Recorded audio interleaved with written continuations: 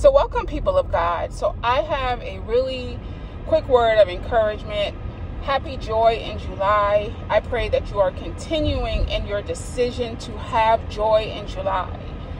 And if it's not July when you're listening to this, we still decree your decision, your decree, your agreement to have joy, to absolutely have joy. Okay, and so when releasing that July word, joy in July, joy in July. One of the first things that I heard the Spirit of the Lord speak to me is no more overthinking. And there could not be a bigger enemy of joy than overthinking. There could not be a bigger enemy of joy than overthinking. And we are living in a time where information is in abundance. information is overloaded to us all day, every day.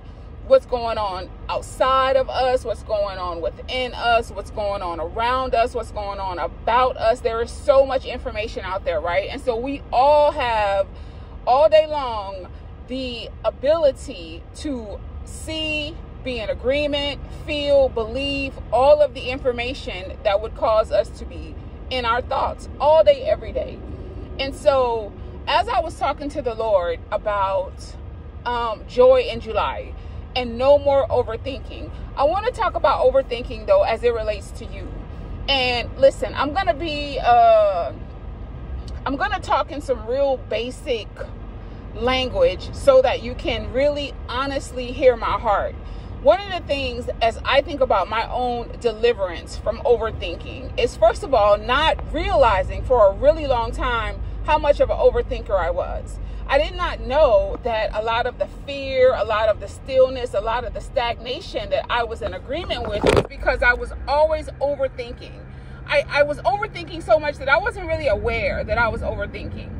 And then when I became aware that I was overthinking, when the truth of Paul saying, do not be anxious about nothing, became my portion, I became aware of being aware that I was in my thoughts.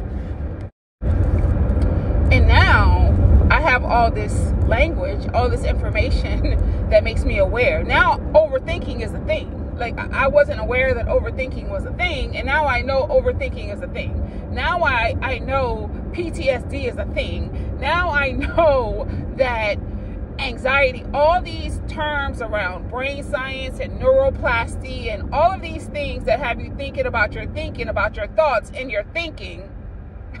you hear me? Like now I have all this information and now I can't get out of my head about my head, what's going on in my head. And I'm like, okay, okay, okay.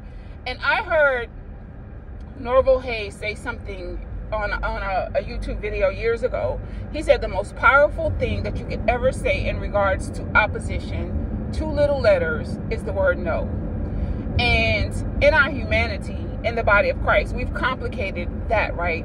This is why there's always so much focus on deliverance and fighting and warfare. Because listen, in our humanity, our, our brain is a defense organ. Like it's a defense organ, right? Fight or flight. Either you're going to be scared. And this is in our humanity. This is not talking about us being spirit beings where we should not be conformed to this. This should not be our norm. In our humanity, I'm either scared of it or I'm going to fight it. Ease is not in our humanity. Calm is not in our humanity. That is 100% us being transformed with a renewed mind. I had to get renewed in my mind and I had to say, thinking about my thinking was going on. No, no. I stopped over analyzing everything. I stopped being afraid of everything. I stopped wanting to fight everything. And all I could think of is no, this is no, no. Anxiety, worry, the how, all this. No, I'm not seeking peace. I am peace. I'm not seeking joy. I have joy. I'm not seeking it. I have it. I have sought first the kingdom of heaven. That's what the Bible says. Seek ye first the kingdom. I've already sought it. It's within me now. Greater is he who is within me. I stopped doing, I stopped being so fixated on everything going on inside of me all the time. Like I'm not getting ready to do no 12 point bullet on how to no, I'm not doing it. I'm not I'm not doing it. That's that's why for me, for me y'all, like I'm just talking about Manny here. It was too it was actually a burden to be hearing all these messages about things that I was struggling with. Just give me the solution. Just just tell me the answer. Just uh, spirit of rejection, understand. Spirit of delay, got it. Spirit of denial, got it. All this can we just the harvest? Can we just get to that part? Where is that part? Teach me about how to live and have and be that part. And so I'm telling you now, the biggest enemy of joy is overthinking. It's always overthinking. It's always putting you in a place where you never have what it is that you are believing for. It, it just one more step. It, it's gonna get a little bit harder before it gets better. A little bit more, you know. And so we we actually are in agreement with, you know, mm, I was I, I, I want ease, but I don't have ease. You don't have ease because you're not saying I have ease. I, I want to be calm, but I'm not calm. I, I want to be not overthinking, but I'm not overthinking. Like I said, Norm, when Norval Hayes taught me that, no. When I hear the thought, when I feel the thought, I'm overthinking. No. Worry, no. Anything from the enemy, no. In Jesus' name, no. No, no, and no.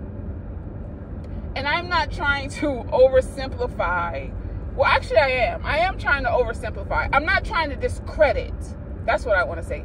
Anything that anybody is going through. But listen, people of God, you don't need me to validate what you feel like you're going through. You're doing that yourself. What I'm trying to do is to validate where you want to be headed. That's where I'm that that's this house movement. I don't need to validate anymore the spirit of rejection, the trauma, the drama, the I, I, we we've we've done that. We've done that in abundance. I want to validate joy. I want to validate what it is you are believing God for. That's what I want to say. It's done. It's done for you. And so, listen, I want you to understand that the Word of God is no more overthinking. There's not a formula, there's not a science, there's not anything deep about that. No, I'm not overthinking anymore. I'm not. And I understand that that's going to be a process. I understand, you understand that that's going to be a process, but the decision to not be overthinking, we're, we're, we're owning that right now. We are living in that right now. So, again, I decree over you happy joy in July. The joy of the Lord is your strength. No more overthinking.